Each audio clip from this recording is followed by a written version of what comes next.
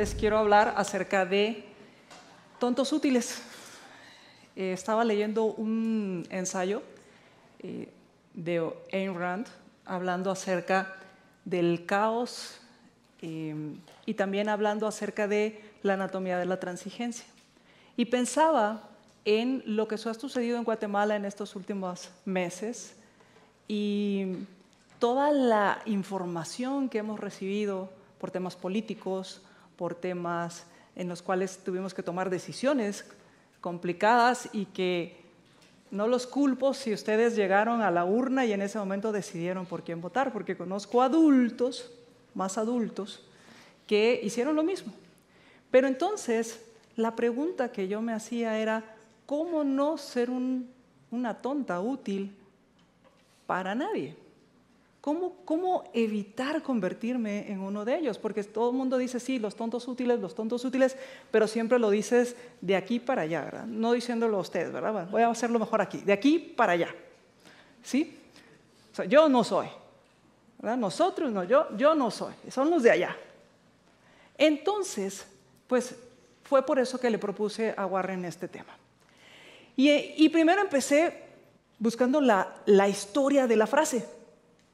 ¿Quién la dijo? ¿Qué significa? Y resulta que se le atribuye a Lenin, pero no es cierto. Y dije, ah, fui tonta útil de alguien porque yo lo repetí. Entonces, ¿qué sucede? Que sale un artículo publicado en el New York Times en 1987 donde este periodista hace una investigación en la, en la biblioteca del Congreso y hace una búsqueda en esta biblioteca y no encuentra ninguna obra de Lenin que use esta frase o algo parecido. Y entonces, ¿en qué quedamos? ¿Qué pasa con esto? Pues resulta que el primer uso documentado fue en 1948. También fue hecho por un artículo del New York Times que citaba a un periódico italiano que hablaba sobre socialistas que estaban apoyando al Partido Comunista Italiano. Y los mencionaba como que tenían que tomar la decisión de si se lo seguían apoyando o no en esas ideas que querían implementar los comunistas, porque los socialistas querían llegar hasta acá y los comunistas querían llegar hasta acá. Entonces, ¿se quedan aquí o se quedan acá? Y es ahí donde dice este artículo que se convirtieron en los tontos útiles de los comunistas para llegar hasta aquí y poder dar el salto para acá. Que no era lo mismo brincar de acá que brincar de aquí. También la American Federation of Labor en 1955 utiliza una, una frase o un término muy parecido para referirse también a los italianos que apoyaban el comunismo. Y decía, bueno, están apoyando ideas o están apoyando su destrucción. Son los tontos útiles de estos, de estos personajes, de estos comunistas. Y entonces, ¿qué uso se le da actualmente? Actualmente se habla del tonto útil, aquel que es ignorante, que ignora las motivaciones ajenas, pero que además le da un apoyo involuntario por ignorar esas intenciones, que no solo es, e, el tema no es que sea involuntario, es que es en contra de sus propias creencias. Y eso lo hace porque o no está bien informado o no hace un análisis más crítico y honesto. Yo llegué a la conclusión que no puede hacer un análisis más crítico y honesto porque no está informado. Y entonces apoya ideas que van en contra de él y se convierte en ese tonto útil. ¿Y qué pasa? Que muchas veces hay una evasión a pensar. Algo así como, después lo hago, como cuando uno dice que va a hacer ejercicio, así, después lo hago. Y entonces, esta fue la frase que captó mi atención de este artículo de Ayn Rand, donde ella dice, una mayoría sin una ideología es una multitud indefensa que será captada por cualquiera. Y una de mis frases favoritas es, yo me pregunto. Yo no sé si ustedes la usan, pero yo me pregunté en ese momento, yo me pregunto, ¿seremos o cuánta mayoría sin ideología está siendo captada en este momento? Sin saberlo, sin tener una postura o tener una postura mixta, mezclada, que al final no va ni para aquí ni para allá y entonces, pues, como le dijeron a Alicia en el País de las Maravillas, si no sabes a dónde vas, cualquier camino que tomes es bueno. Y entonces, dicho esto, ¿cómo hacer para que no, para no ser esa mayoría captada por cualquiera? Esa mayoría sin una ideología, sin ¿qué tengo que hacer? Y entonces lo que tengo que hacer es Pensar, razonar. Y razonar es una característica humana. Eso es lo que nos diferencia de los animales, esa facultad que tenemos de razonar, de pensar. Por consiguiente, somos seres que podemos tener una mayor conciencia de nosotros mismos y por consiguiente tenemos un potencial aún mayor que el resto de los animales. Y nuestra naturaleza humana, depende de nuestra filosofía, estamos condenados a pensar o somos afortunados de poseer esta facultad. Dependerá de mi filosofía, dependerá de mi postura ante la vida. Unos dirán, no voy a decir la palabra porque me están grabando, pero qué flojera pensar, ay no, qué flojera, eso que lo hagan otros. O, qué emoción, yo puedo, yo voy a tomar mis decisiones, si me doy contra la pared, pues aprendo. Pero yo me di contra la pared, yo solito, nadie me ayudó. Y aprendí. Entonces, pensar, razonar bien es opcional. Muchas veces pensamos, luego pienso, como si pudiéramos, no sé, como yo, quitándome el saco y después me lo pongo. ¿Y qué pasa si tu vida dependiera de que piensas o no piensas bien? y estás en una isla. Mis estudiantes conocen esta metáfora. Si tu vida depende de pensar bien, de razonar bien, dirías, no, luego lo hago. ¿Dejarías que los demás tomaran decisiones por ti? ¿Mm? ¿O será que como estamos en una sociedad, pues ahí no importa? que los demás piensen por mí, que me digan qué hacer, cómo vestir, qué tomar, por quién votar, a quién apoyar.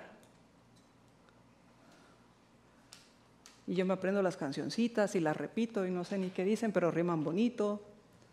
Y que el pueblo unido y no sé, otras cosas que no recuerdo ahorita, pero hay varias que, que son, son creativas. No les voy a decir que no, que no son creativas.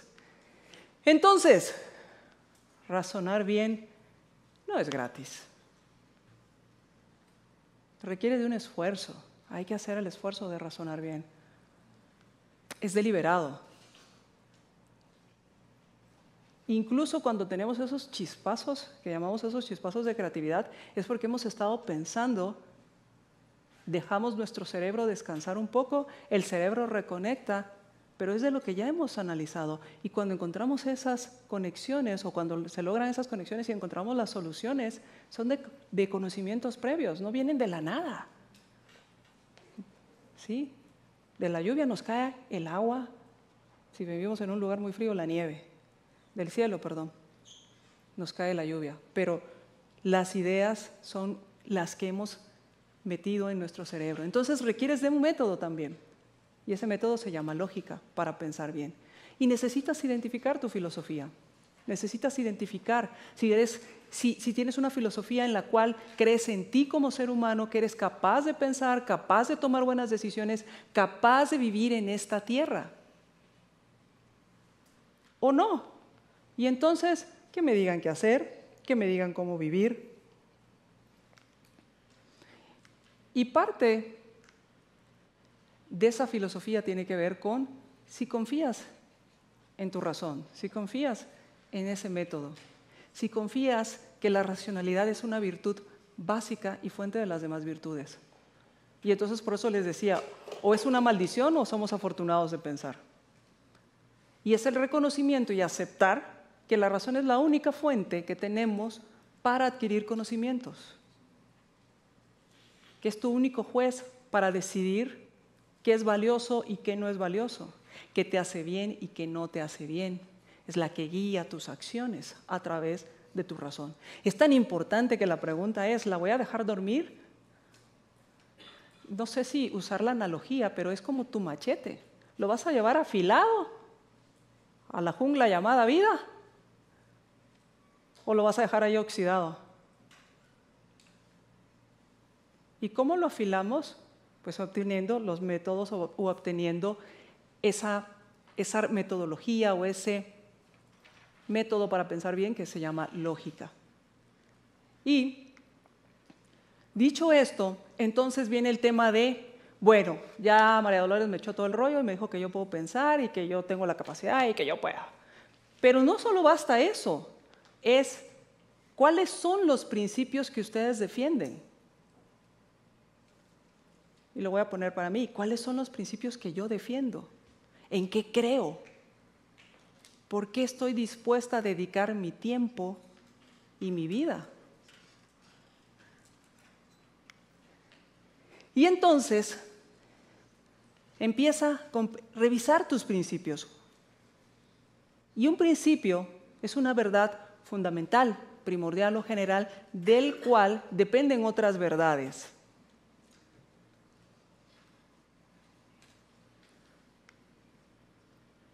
Y hay tres reglas sobre el funcionamiento de los principios en la práctica. Es que defender principios no es tan fácil. Pues, pero vale la pena. Y tampoco es tan complicado, es cuestión de práctica, es como la bici. Una vez que aprendemos a andar en bici, ya la hicimos. ¿Por qué? Porque practicamos. No fue la primera vez y me caí nunca más y ya después aprendí a andar en bici. No, no fue así. Entonces, estos tres principios que les pueden ayudar, o estas tres reglas, perdón, es cuando estás en una discusión y tienen los mismos principios, creen en lo mismo, valoran lo mismo, gana la discusión el más coherente. Recordemos también que los principios, bueno, no recordemos, les voy a decir, los principios nos ayudan a poder planificar en el largo plazo. Y en ese largo plazo es cuando, si tenemos los mismos principios básicos, por ejemplo, yo creo en la virtud de la honestidad. No voy a falsear las cosas que suceden. No voy a decir, no, yo estaba bien cool en la presentación, ni, nervios tenía. No, no lo voy a falsear. Pero ¿qué hace esto? Que entonces yo pueda tomar buenas decisiones y ser consistente de en el largo plazo. ¿Y qué pasa? Que cuando yo soy consistente, el que no sigue esos principios, porque tiene una postura diferente, entonces tengo los mismos principios, pero tenemos posturas diferentes hacia ese principio, el más coherente es el que gana la discusión.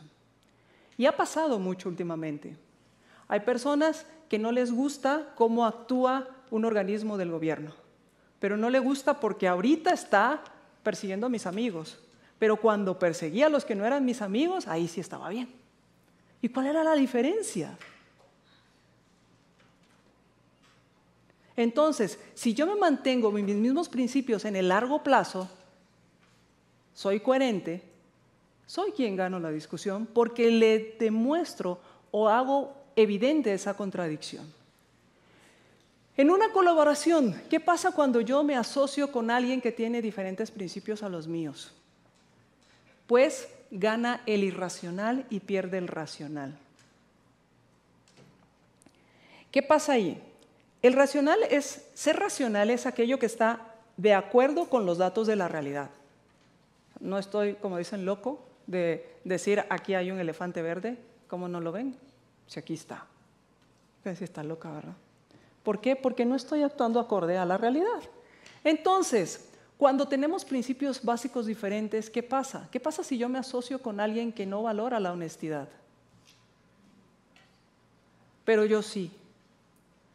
¿A quién le conviene más unirse con el que se hace la tarea, con el que es estudioso, con el que todo el tiempo eh, lee hasta los pies de página? ¿Quién gana más? ¿El que es consistente, es productivo, es laborioso o el que no lo es? Entonces es por eso que gana más el, eh, irracional y pierde más. ¿Qué va a ganar una persona que es laboriosa de alguien que no lo es? ¿Qué va a ganar alguien que no es laborioso de alguien que sí lo es? Después, cuando los diferentes principios eh, son, eh, son diferentes los principios básicos, en es una discusión, hay que poner atención. Ustedes a veces entran, o nosotros a veces entramos en debates y discusiones, pero si estos principios básicos son clara y abiertamente definidos, o sea, ¿qué entiendes por esto? ¿Qué entiendes por esto? Ahora, pongámonos de acuerdo. ¿Entendemos esto? Sí. Ok, entonces, ¿cuál es tu postura? Y entonces, ¿qué pasa? Que opera a favor del más racional, del que usa el mejor método para entender la realidad. ¿Qué pasa en el otro caso? No son ocultos, no son definidos y entonces dicen, ah, no, si yo no quería decir eso, yo quería decir otra cosa. Ah, ok, entonces tú dices esto y, y siguen discutiendo. No, no, no, me entendiste mal. No, si no era por ahí. No sé si les ha pasado estos escurridizos que nunca asumen una postura y que van cambiando dependiendo del clima, lo digo yo, pero dependiendo de lo que les conviene en el corto plazo. Entonces, estas tres reglas que tienen sus dos variaciones cuando son abiertos y definidos o cuando no lo son, nos puede ayudar a entender cómo tratar con el tema de los principios. Y entonces, ¿Qué necesito empezar? Tener claro los principios de con quiénes me asocio, de mis amigos, de mis socios, de mis compañeros, pero ¿cuáles creen que son más importantes tenerlos claros? Sí, del con el que en la mañana despiertas y dices, hoy sí amanecí, genial. Mis principios, tengo que tener claros mis principios. ¿Por qué es por cuáles principios estoy dispuesto a defender, a invertir tiempo.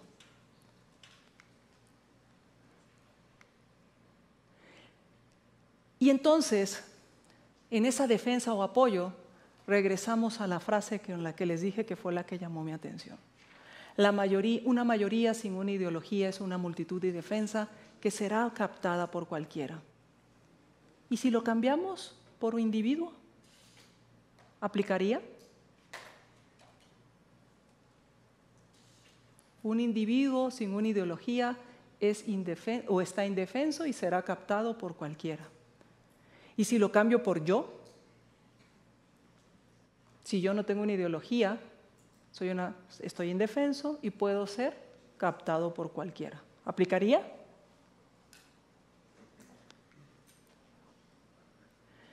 Entonces, Conclusiones. Los seres humanos somos racionales. Ahora, que pensemos bien ya son otros, es otro boleto, es otro. Pero tenemos esa capacidad de pensar. Pensar bien no es gratis. Hay que hacer el esfuerzo. Pero vale la pena. Porque todas las decisiones que hoy tomaron, inconsciente, bueno, no digo inconsciente, pero tomaron decisiones, pensaron, tal vez fueron milisegundos. Pero pensaron, ¿qué se van a poner hoy? ¿Qué desayunaron? ¿Me quedo a esta conferencia o no me quedo? ¿La escucho o no la escucho? ¿Qué hago? Y entonces, pensar bien no es gratis, identifica tus principios y los de tu contraparte. Apoya y defiende tus principios. Repito, apoya y defiende tus principios, no a las personas, antes que a personas. Y es por eso que es importante que identifiques los principios de las personas que tú apoyas. No ves un apoyo incondicional. Tú vales mucho. Tus principios valen mucho para hipotecarlos por una cancioncita o por lo que digan los demás. Así que ¿Cómo no ser unos tontos útiles? Aprendiendo primero en qué creo, qué valoro, qué apoyo, contrastarlo con la realidad, pensar, ser racional y no dejar que nadie decida por mí.